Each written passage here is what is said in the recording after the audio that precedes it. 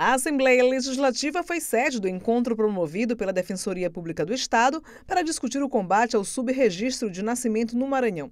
A presidente da Alema, deputada Iracema Vale, participou do evento. A gente tem uma lei em parceria com a Defensoria Pública, né, que trata justamente é, das crianças que têm é, negado esse direito de paternidade.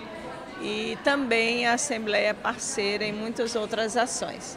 Aqui no momento a gente está fazendo parceria com o seminário para que a gente busque em conjunto uma solução para a erradicação do subregistro no Maranhão. O deputado Neto Evangelista representou o parlamento estadual no evento de entrega das carteiras de identificação oficial para pessoas com autismo no Maranhão um marco inédito no Estado. O governador Carlos Brandão dá um passo importante, a Assembleia Legislativa sempre presente nesse momento, né, trabalhando com projetos de lei, trabalhando em ampla discussão com o governo do Estado, para que a gente possa ir avançando nas políticas públicas para as pessoas com transtorno do aspecto autista. Na terça-feira, os deputados deram início às sessões plenárias da semana. Destaque para o pronunciamento do deputado Vinícius Louro, que falou sobre projetos de lei de sua autoria que beneficiam moradores de municípios atingidos por fortes chuvas e que enfrentam situação situação de calamidade pública.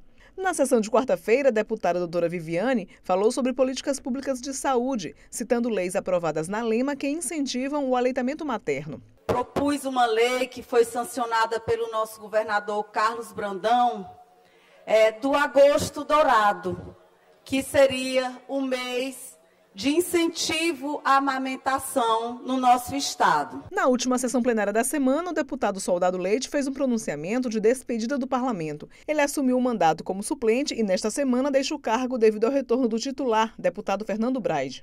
Que aqui não é um adeus, e sim um até logo, um até breve, porque essa casa vai voltar a ter um parlamentar militar na próxima legislatura, porque os militares irão me colocar aqui, detetor do mandato, e serão quatro anos de defesa e cobrança e buscando a valorização que esses militares tanto merecem. Também na quinta-feira, os deputados da Frente Parlamentar em Defesa da Baixada Maranhense se reuniram com a Codevasf em São Luís para tratar do projeto Diques da Baixada. Esperança da gente resgatar economicamente aquela região que é extremamente importante, tem uma função ecológica grande e entendemos que uma obra estruturante dessa precisa, com os estudos, é, ser rediscutida adaptada e, acima de tudo, encarada como prioridade.